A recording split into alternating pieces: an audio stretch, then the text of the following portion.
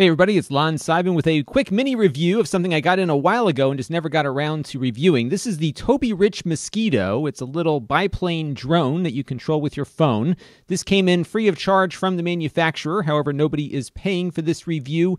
Uh, all the opinions are my own and nobody is approving this video before it goes up.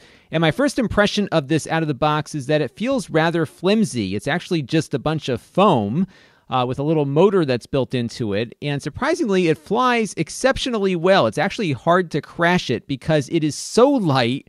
Uh, that it just kind of is just buoyant in the air. It just takes off on its own and uh, has a hard time coming back down, actually. In fact, even a little bit of a windy day uh, will prompt the app to give you that weather alert you just saw there. And uh, it really doesn't like wind at all. And in fact, I could see this thing getting blown away quite easily.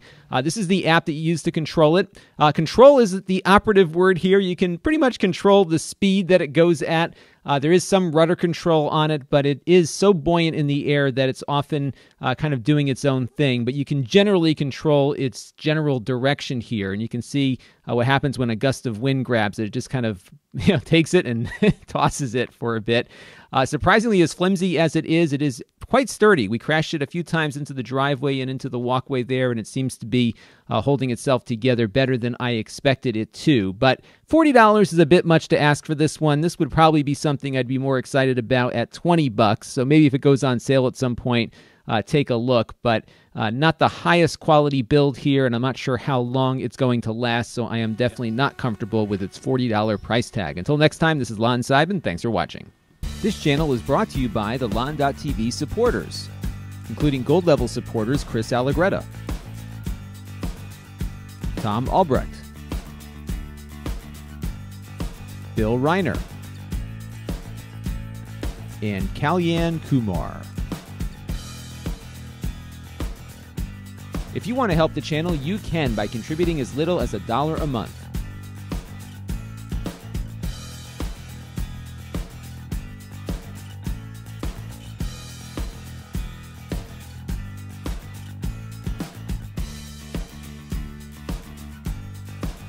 Head over to lon.tv slash support to learn more.